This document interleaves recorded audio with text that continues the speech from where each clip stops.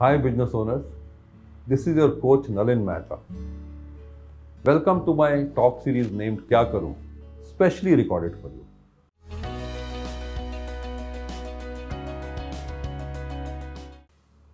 I often uh, hear businessmen tell me that I have delegated a lot of authority to my team. But still, my team keeps bringing problems to me the whole day. And I am just resolving those issues one after the other. And my whole day's working time goes in doing that, and I am not able to do what I want to do. मैं क्या करूं?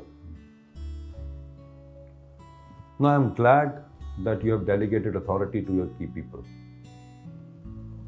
I'm sure that this authority is well understood by people, it is properly documented, and everybody knows what decisions they can take and what decisions they can't take. If it is not done so, please make sure that you do it. I would say this delegation needs to be reviewed very periodically.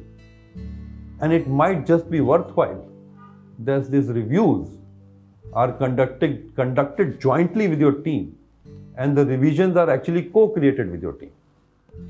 So this will make sure that everybody is satisfied and understands what you are delegating to them. The issue that is often missed out and nobody I bet will bring it to you is that you as business owner are you really acting as a problem solver? Are you actually yourself as a leader believe that it is your responsibility to generate all the ideas?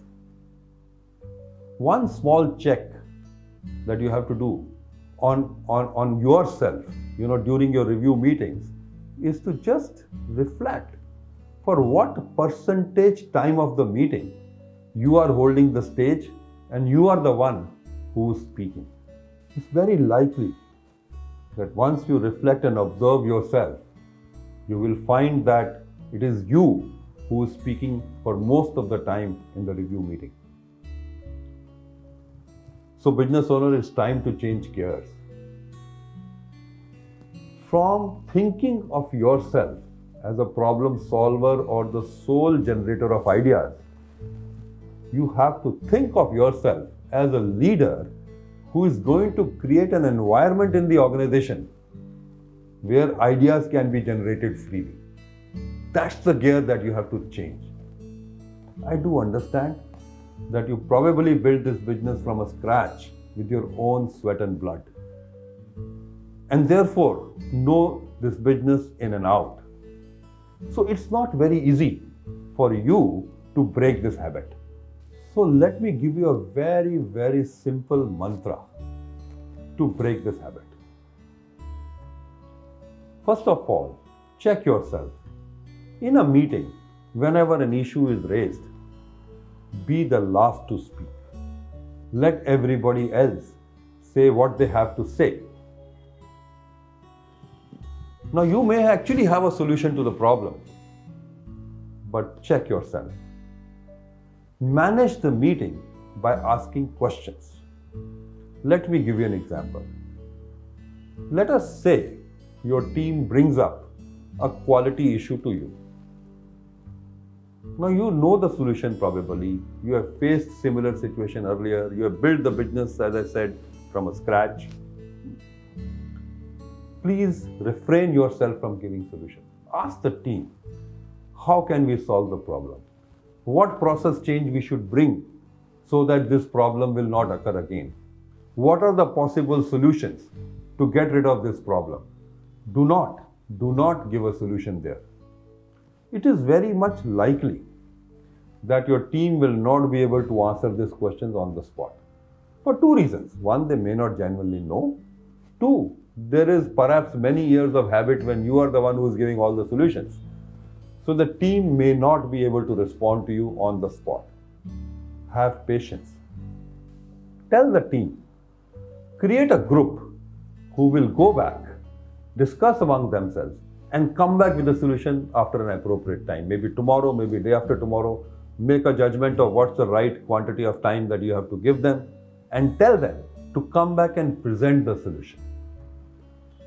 remember the mantra. When they present the solution, be the last to speak. And remember the mantra, conduct that meeting also by asking questions. Now, business owner, if you follow this practice persistently for a few months, you will observe that there is a change of culture in your organization. You will notice that suddenly people, instead of bringing just the problems to you, will actually start coming up with the problem statement as well as possible solutions for that statement. And then your role will become only if you have to sanction some investments or sanction some change or sanction some manpower to resolve those issues. You will not be the idea generator and you would have created an environment in the organization where people come with ideas. To summarize, resist the temptation of giving solutions to your teams, manage your reviews by asking questions, and be persistent and consistent in following this process. Speak the last in the meeting. Just follow this simple mantra, and I assure you the culture of your organization will change and you will start getting suddenly a lot of time as a business owner for what you need to do, which is focus on how to grow the business, how to get better relationship in the market, how to bring in new products, how to conquer new territories, instead of solving day-to-day problems.